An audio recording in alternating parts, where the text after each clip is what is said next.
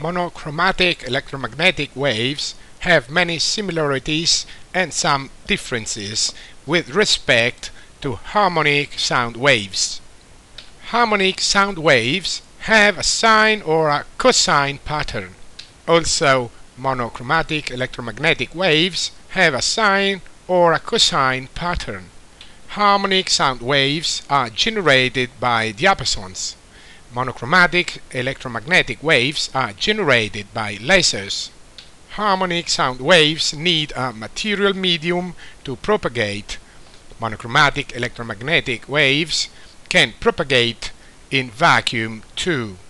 Sound waves are mechanical oscillations of some elastic material.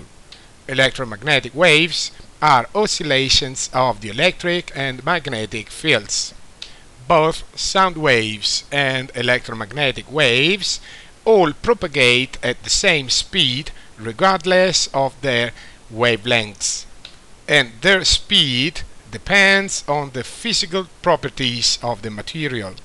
For harmonic sound waves, we perceive different wavelengths as different notes.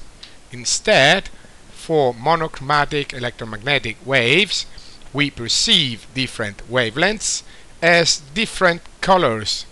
We can perceive harmonic sound waves only within a certain range of frequencies, from about 20 Hz to about 20 kHz.